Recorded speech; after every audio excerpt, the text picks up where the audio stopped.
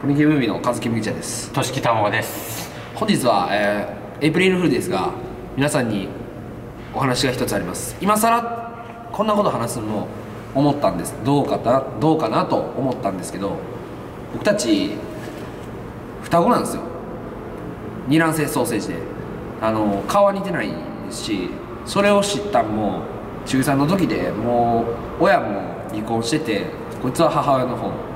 俺は親父の方っていう父親の方でなんか知らん環境でたまたま会ってでまあその話していくうちにそれが分かったっていう感じで血液とか見てたりとか戸籍とかも見ましたけどやっぱりそうだったみたいでやっぱり兄弟なんですけど血は一緒ですけどなんていうかもう友達みたいなな。双子の兄で双子の弟みたいな。でまあなんていうかもう年も僕の1個下って言ってましたけどそれは僕にかなり劣ってるからそう言っとかんかったらこいつの顔が立たんなって思ってて僕は1個下っていう設定で言っててほんまは僕と年一緒なんですよ、明らかまあ見たら分かるじゃないですか。体のでかさからして。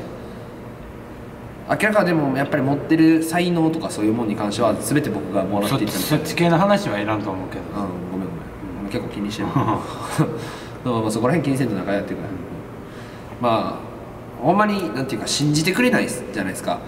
僕たちほんまなんていうかね何があってもなんか息ぴったりなんですよ。キャストとかでも言ったんですけどじゃんけんやったらガチであいこばっかなんですよ。それガチでやりますわ。これほんまっすから。これあの一切ネタなしですよ。やらせなしですからね。ここ見える？最初はグーじゃんけんほい。あいこでしょあいこでしょあいこでしょあいこでしょほらね。でもこんだけも続でもこんだけこんだけ続くんですよ、もう一回する？うん、最初はグーじゃんけんほいあいこでしょ。おーおー たまに。たまに。最初はグーじゃんけんほいおおなんかなんかあれやな。3回三回中2回なんかそこはって思ったな。ででもほんまになんかなんかほんまに一回ハねマる時はなんか声もハモるしなんかあるんでしょうね。うんまあ頑張っていこうやこれからも。あまあということなんで今更なんですけど今更なんですけどでタクポクはいいとこですあいつは1個下です。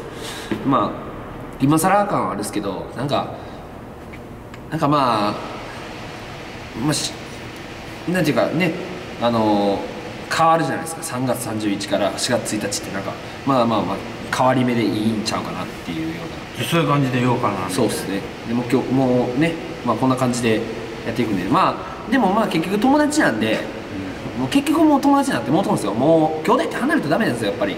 普通に双子じゃなくても兄貴と弟やったとしてもやっぱ離れたらあかんっすね。様子の話聞きますね。